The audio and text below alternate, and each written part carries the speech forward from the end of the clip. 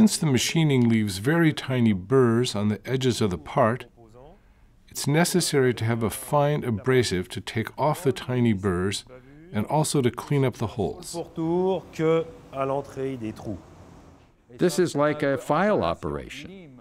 One can say file, but in fact it is an abrasive paper because a file is too coarse for the surface we want. Donc nous préférons un abrasif très léger We want an abrasive that is very fine, like this small stick, and next a small polisher to remove the small defects at the edge of the hole. vis pour tenir le bracelet. Mais il faut le faire avec You have to do this very carefully to avoid scratches. Exactly, because we had a protection layer earlier that's not here now. So we have to do this without scratching anything.